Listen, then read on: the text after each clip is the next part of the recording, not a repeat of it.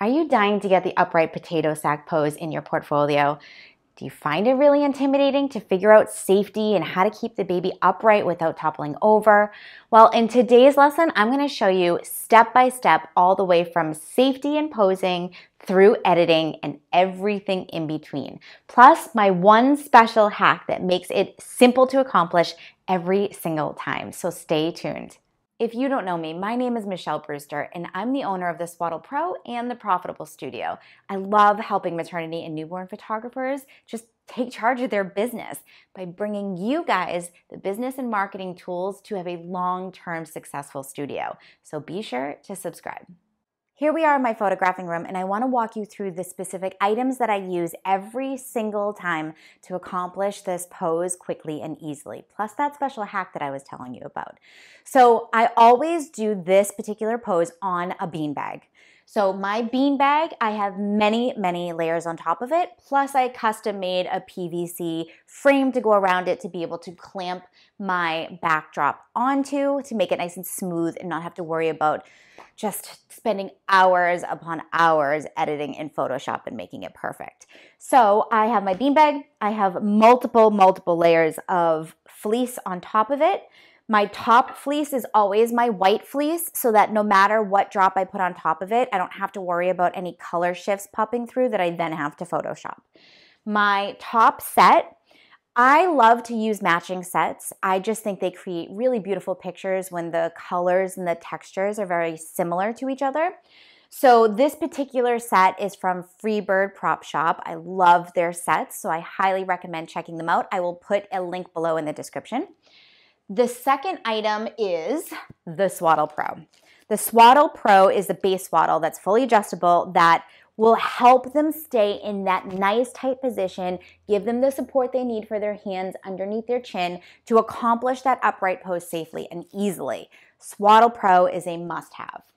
The second thing that I use is natural cotton batting. So I use this to create the roundness around the baby and give them that nice, almost like egg shaped kind of look so that they're full and they just have some beautiful different um, shapes to them so that it fits perfectly within the next hack that I'm gonna tell you about.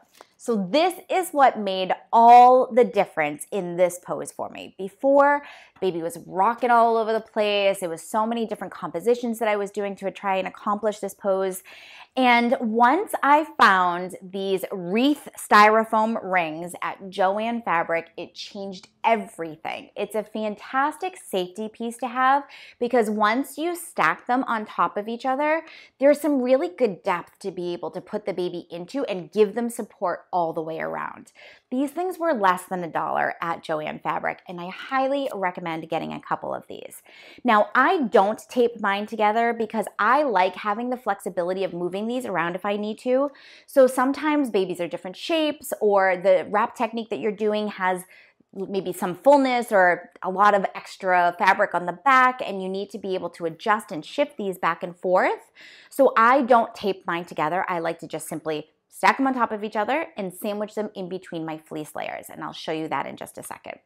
So the next thing that I have that I always, always use for every single upright potato sack is natural furs. I love my curly furs and I specifically love to use these because of the ring styrofoam um, pieces that I use for the upright.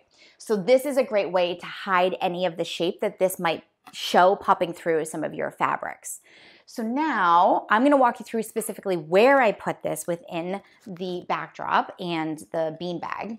And then I'm gonna show you how I actually wrap the baby with the Swaddle Pro. I'm gonna walk you through the safety features, how to do a composite in editing, and everything in between. So first, I like to take my styrofoam rings and put them directly underneath my top white fleece layer.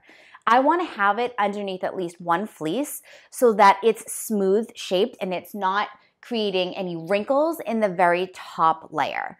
So I simply take it, stick it back far enough that there's going to be um, bean bag here in the front and my drop cascading there in the back.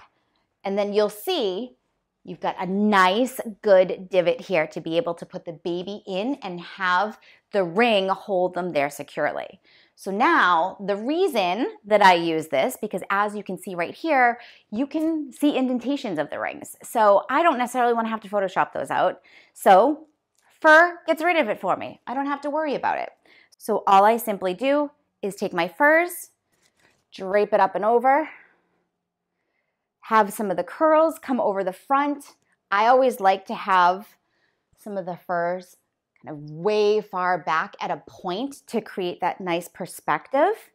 And then that way, when the baby sinks in, I have all this pretty texture, really being able to come up around the baby and you don't see any of the ring at all. So this is ultimately what my scene would look like before the baby goes in it.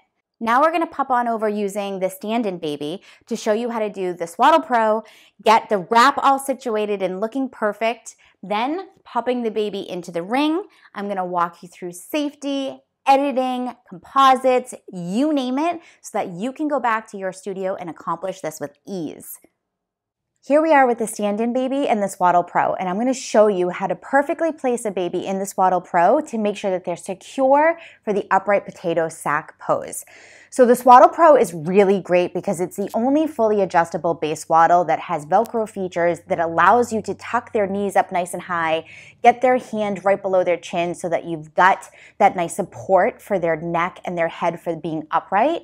And it really just allows you to keep them just sound asleep, undisturbed while you're switching out to other wrap techniques. So to start, you're gonna place the baby's shoulders up above the Swaddle Pro. So we're gonna go up a good amount so that as you can see, the tops of the shoulders are up above the Swaddle Pro. So as you can see, there's a double wide hem here that was created to be able to keep their arms from escaping. So it's got some nice extra thick stretch to it.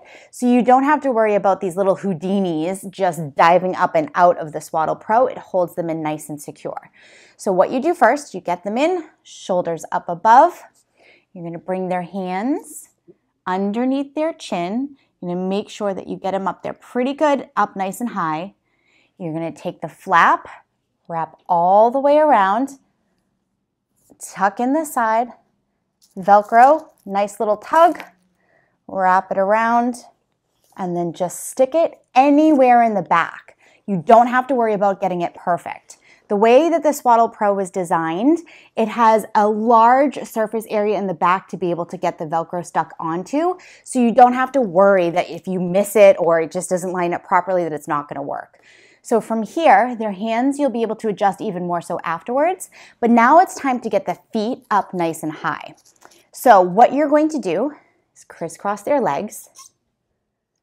And the most important piece with this is you want to try and get their knees as close to the bottom of their elbows as possible. So this stretchy fabric really allows you to completely get their legs in and up.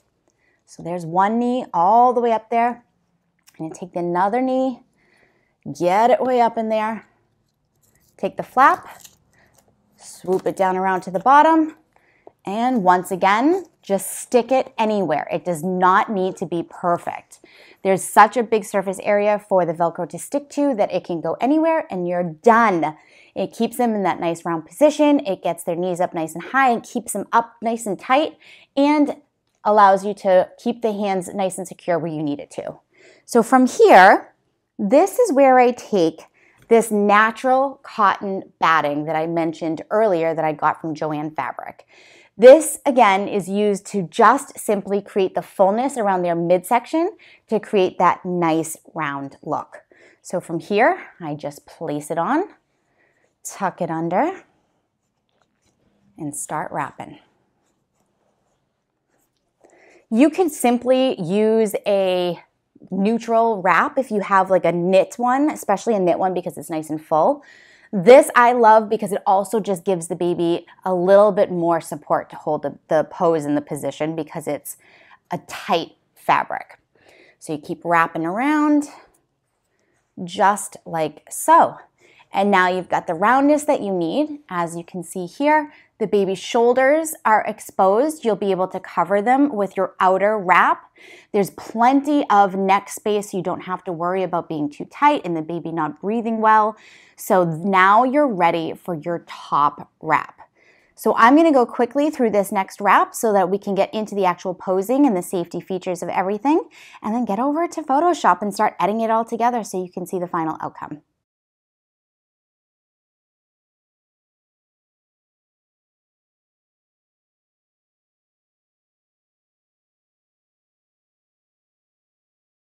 So here we are with the stand-in baby and we are ready to roll. I've got my scene fully set up. I've got the rings directly underneath here so the baby can have some support and fit down nice and snug in there. I've got the stand-in baby fully wrapped with a little bow tie wrap and cute little headband to match the scene. My light is set up exactly where I want it. I like using my light in a split light scenario so that especially with a high key scene that's so white and so neutral i like having shadows in the baby's face. So when it's off directly to one side in that split lighting scenario you're going to have highlights on one side and shadows on the other side. And it will still have a beautifully lit scene but it will just allow you to see the roundness of the baby's cheeks and nose and all their little eyelashes and features and whatnot better than shining the light directly on them and making it just super flat light. So now we're gonna put the baby directly inside the rings and I'm gonna show you how to support the baby, whether you're doing a composite or if the baby's in there nice and snug and you're good to go and you're able to do it without a composite. So the stand-in baby is ready to go. We've got the scene set up. You have the rings directly underneath your fleece layers. You've got your curly wool fur on top. Everything is perfect. Now all you simply need to do is pop the baby in and we'll start talking about safety. So from here, before we pop in, I wanna make sure that you know the best hand position to make sure that their head does not fall forward in this pose. So when you're wrapping, or even after you're done wrapping in case they wiggled or moved around at all, you basically want to make sure that they have one hand on top of the other directly under the chin. That's what's going to give the chin and the head support so it doesn't fall forward while the baby is upright. From here, you simply take the baby's bottom, find the middle of the ring, pop the baby in, Get them nice and wedged in there perfectly. The rings, again, are adjustable because I do not have them taped together. At this point, you should always, always be supporting the baby's head. You never ever want to leave the baby unassisted at all, or else their head could fall over if they have an active dream, if they have the startle reflex, or anything like that. You want to make sure that you are always holding on to the baby's head. From here, I simply do a composite every single time. Once I know that they're in the position that I like, I've got the curly fur, fur, textures where I want it to be. I know that the picture aesthetically is ready to go, lighting is all set, I've already done my test shots. That is when I will have either an assistant or the parent assist me with the composite for this. So all my assistant, or 90% of the time the parents will do, is stand off to the side, hold the baby's head. I take a picture, switch arms, hold the baby's cheek. I take a picture. Then I chop it into pieces in the computer and stick it back together, which I will walk you through in just a second. So quickly, I just want to point out lighting here. So as you can see, because I've got lighting off to one side, like you saw a second ago, I have nice highlights on one side and shadows on the other side. So you can really see the roundness of the baby's cheeks, nose, and all their cute little features. This pose is so easily to accomplish with all those little hacks that I showed you. The baby is in there nice and tight. 90% of the time, you probably don't even need a spotter, but you always, always want to have one and do a composite with this. From here, if you ever need to adjust anything because it's a beanbag, you can simply wiggle the baby around, get the baby in the perfect position, always keeping your hands on, and it is a beautiful, beautiful portrait. Here we are in Photoshop now with our two images that we took supporting the baby's head properly so that we can safely accomplish the upright potato sack shot. Now we're going to be walking through what I do in my studio to put these two images together and create one beautiful art piece for your clients. Very simply, I like to start with the image that has no hand being held on the top of the head. This is where I will lasso the top and drag it over to the other image. So to start, I like to just separate my images. Make this one a little bit smaller. I'm going to use the lasso tool. I'm going to feather it at five pixels. And then there's really no rhyme or reason. I pretty much just loosely grab it. I like to go right underneath the headband so I have some forehead to work with, and then just straight across, up, around, and done. From here, I choose the move tool, grab it, and pull it right over. Now I am going to center it as best as I can. There's always 90% of the time you're going to need to adjust the size of the layer that you're bringing over just in case you zoomed in or out or stepped differently um, to make it a little bit wider or closer up of a picture. So I'm going to adjust that part now. One hack that I found that really works well is sometimes if you're not sure if it looks right and, and you're just not exactly positive that you placed it in the right spot, you can change the opacity of that top layer down to about 50% or so, and then try and line it up so that you can really see. So, like as you can see right here, the headband's matching up pretty good right there.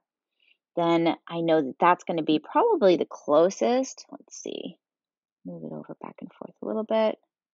That's probably the closest that I'm going to get it right here. So I'm going to bring it back up to 100% opacity. And now I'm simply going to use the eraser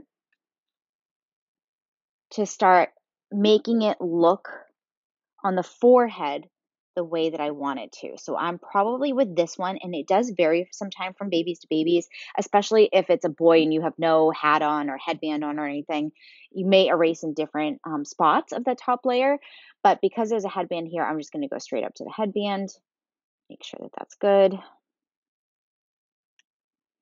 Now, the backdrop is where I'm seeing a lot of the difference as well as some of the curly wool layer.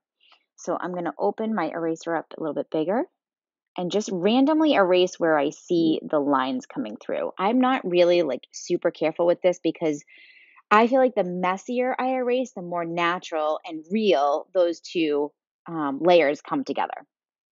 So we've got this from here. Now I'm going to crop my image before I flatten. I want to get it to where I want it to go so that I don't have to edit out too much beforehand. Let's see, baby's tilted a little bit. Getting there. And I'm going to go right to the tip of the curls in the back and done. Okay, so now we really just have these edges here to be able to worry about. So you can see it right here on the left hand side and right here on the right hand side. So at this point, I'm going to use the Profitable Studio action set to darken the edge on this side just a bit. There's not much that I need to do right here. Um, so we're going to go over and we're going to choose Paint in Dark. It's going to tell you what to do in order to use the right tools and everything. It will select it for you. I'm going to turn my opacity down to about 25%. And then I'm just going to very quickly, very quickly go over. So as you can see, that's even already better just like that. It doesn't need to be an exact match because of what we're going to do next. Okay, so now I'm going to flatten everything. At this point, we have three different layers, as you can see here on the right. We have the darken, which is the action. We've got the layer that we brought over the top part of the baby's head, and then we have our background layer. So I'm going to flatten everything. And now I'm just going to simply use the patch tool so that I can get rid of these jagged edges here where you can really see the fact that there's a difference in contrast and that it was a different layer that was pulled over. So again, really messy, just like to do it so that it's no rhyme or reason. It doesn't create a pattern or clone anything that's going to look repetitive. Just circle, drag and drop. Same thing with this side over here. Done. A little line I see here, just random there. Okay, so we're looking pretty good right here. This looks as if it's a baby that was able to accomplish this this this pose without parents' hands or an assistant's hands holding onto their head to, for support. So now from here, this is where I really start enhancing. I bring back some of the highlights, making sure there's details in the shadows, and then really just kind of pull it all together with a nice pop. So what I'm going to do first is I do see some blue coming through in the backdrop and in the matching wrap set here. So I'm going to go to my masks over here and I'm going to go to hue saturate. I'm going to select blue and I'm going to bring down the saturation. So you can see that that's taking that away really nicely. I'm going to also go over just in case there's any cyan and do the same thing. Perfect. So that looks like a nice clean white to me. The curls themselves are going to have some yellow in them because it's more of a creamish tone, which is why I chose that headband to bring in some of those yellow tones from the cream curly layer here. Um, but what we're going to do next is I want to bring back some of the detail within the wrap. Because this was the closest to my light source, it definitely has some brightness to it. Even though you can see a lot of the texture, I know that working with some of my action sets that I use to create a nice pop to it, it might blow out some of these highlights. So I want to make sure that they're nice and dark before I add any of my finishing touches to it. So I'm going to flatten this. I'm going to come up and over to image, adjustments, image, adjustments, shadow highlights. I'm going to turn the shadows all the way down to zero because I'm not worried about those. And I'm simply just going to adjust the highlights only. And they change pretty quickly. So like I'm only at 2% right now. And you could see how quickly that changed. So I may only even need to do one. I think one would be fine. Um, let's see here. Now we're going to go with two. Okay. So here is a preview of before and after. So I like the way that that looks. Now, I'm going to do one more adjustment just to the wrap to even pull in a little bit more with only making the wrap itself darker versus the entire highlights in the entire picture. So I'm going to pop over here again to the Profitable Studio action set and choose Paint in Dark again. And I'm going to make my brush smaller so that I can really just get in here and make that wrap dark enough that you can make out the texture really well, but still know that it's white.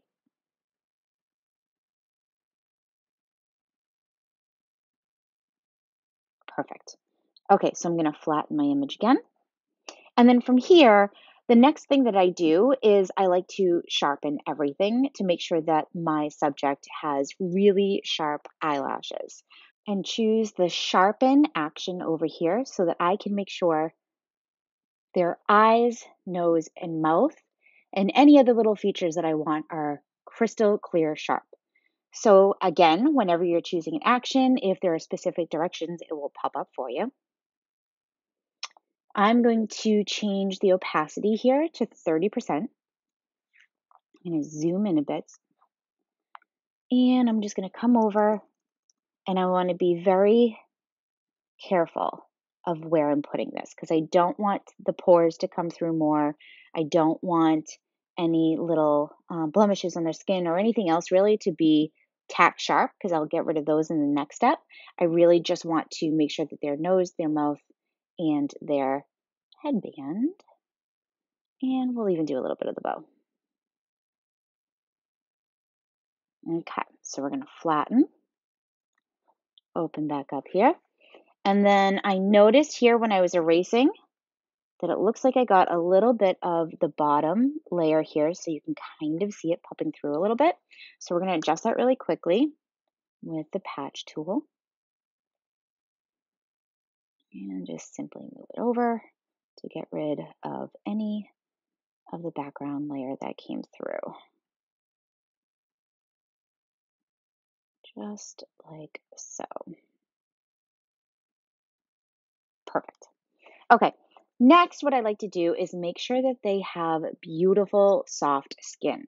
So at this point, if the baby did have any acne or little scratches from their fingernails, I would use the patch tool to quickly just get all of those out of here. And then I would go immediately over and choose the powder press action to soften their skin. So this action is absolutely one of my favorite. It basically makes it look as if they have a powder press all over their face. So you don't lose any of the texture or the detail in their skin.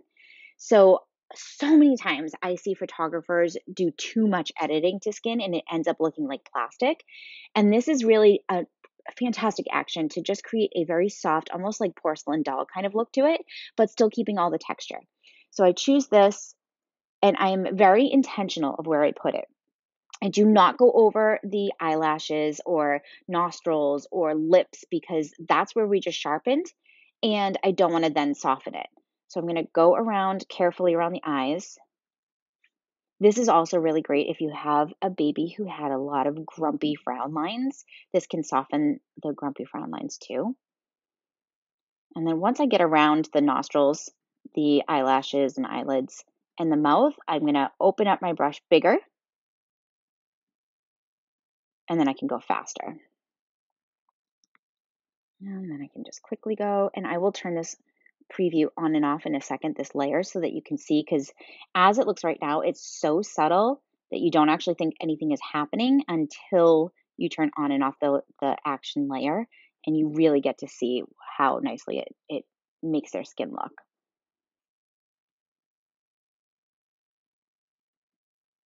Okay, so we're going to turn it off and on. So you can see it even softens the shadows. It's a really great action for skin. So we're going to flatten this here now. And at this point, we're almost done. So I like to, and this is my own personal style, I love to blur the edges of my photograph so it's really soft and it almost creates a vignette that directs people to look into the middle of the photograph where my subject is. So I go to the lasso tool I change my feather to 250 pixels and I just, again, really messy, really quickly go around and just make some crazy lasso loops. From here, I'm going to invert to be able to select the outside of the image rather than the inside of the image. I'm going to copy it and paste it to create a secondary layer over here. So I've got my background layer, and then I have the layer that I just created, the, the outer edge of my photograph. I'm going to go up to Filter, Blur, Gaussian Blur, and I keep mine right around 250 pixels. So as you can see, pull this off to the side here, before, after. It just creates that nice softness on a separate layer so that I can then further adjust it if I want to. So once it's here, I'm going to choose my eraser tool.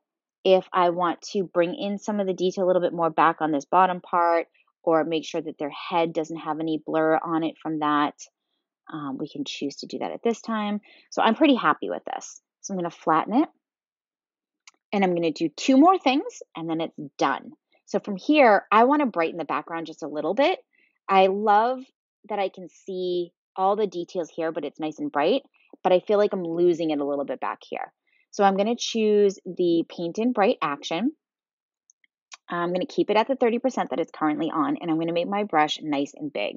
You also want to make sure that the edges of your brush, that the hardness is at 0%, so it's nice and soft. So now I'm just going to quickly go around, go around, and I'm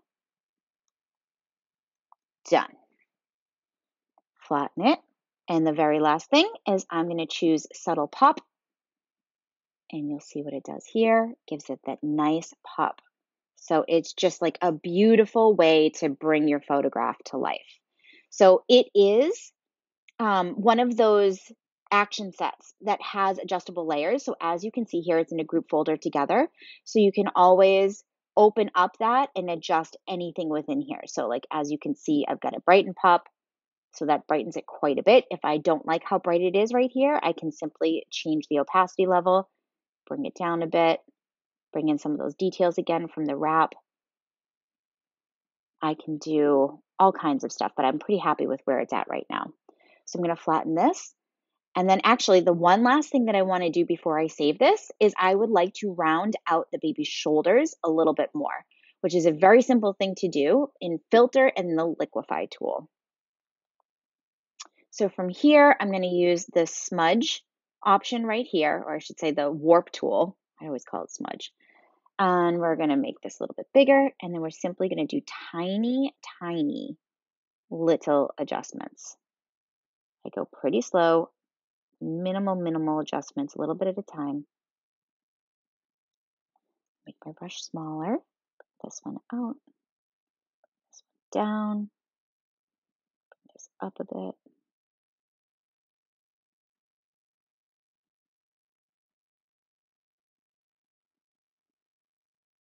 Almost there. Get a little bit bigger again.